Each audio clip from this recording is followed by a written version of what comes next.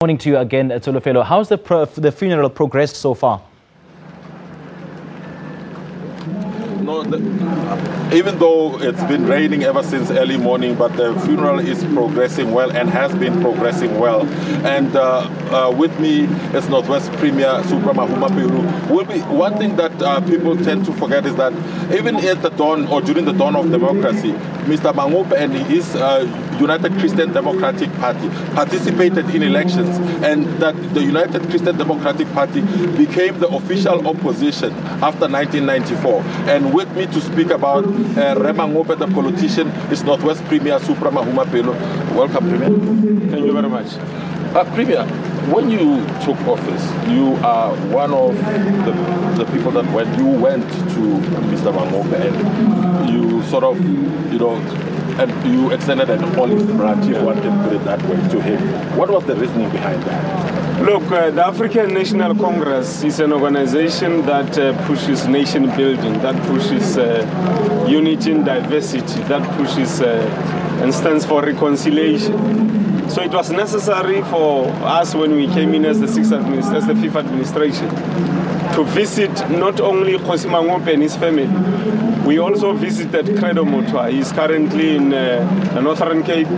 We've been visiting some of the leaders of the Afrikaner uh, community to bring people together. It's very important that um, we don't use our past to divide us further, but rather we must use our past as a landmark to learn from and use our present to bring our people together so that we build a united South Africa. And Mr. Mangope was a prolific Setswana orator, being able to speak Setswana or politics in Setswana.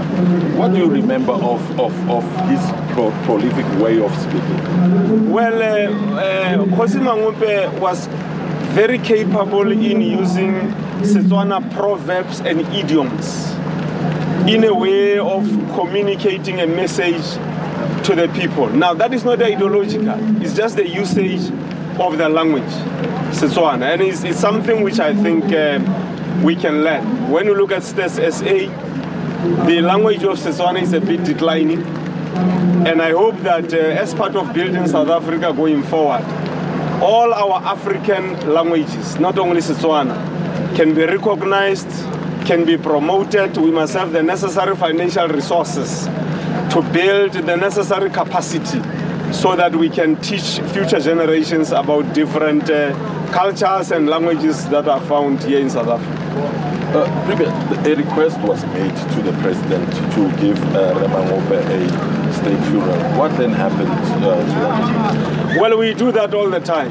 When cadres of the movement pass away, uh, those who are in exile, those who have played a particular role in society, traditional leaders, and so on. So, as the government of the Northwest, we thought it will be necessary for us to accord some kind of status to the burial of Kgosi Mangope because he was a chief of the, uh, the people here in Motswedi, like other chiefs here in the province, but also somebody who played a role uh, in uh, making sure that we build democracy. Because after 1994, as you said, he did participate in the legislature. He was part of building a new South Africa. So we did get a response that we must accord Kgosi Mangope a category of a civic uh, funeral, which we have done, and the family was very happy with uh, uh, that uh, categorization of the funeral.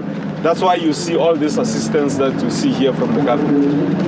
Okay. Uh, that was Northwest Premier Supra Mahuma Pelo at the funeral service of uh, former Bophuthatswana leader uh, Ryan Lucas Manyane Mangope. Back to you.